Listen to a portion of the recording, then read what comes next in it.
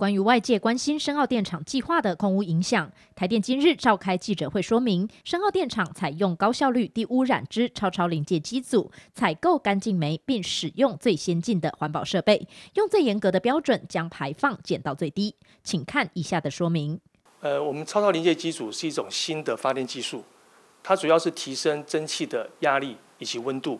让整个煤的使用效率能够提升。那根据以往的经验跟规范。超超临界机组可以让每一度电使用的煤减少了将近十六个 percent，让它的二氧化碳的排放减少十九个 percent。那相对来讲，每一度电所产生的污染物就会降低。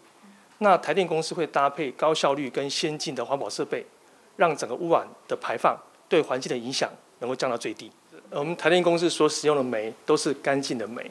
那我目前使用的煤有分两种，一种是烟煤，一种是亚烟煤。那烟煤的热值高，亚烟煤的灰分低，那么我们会根据基组的特性予以搭配，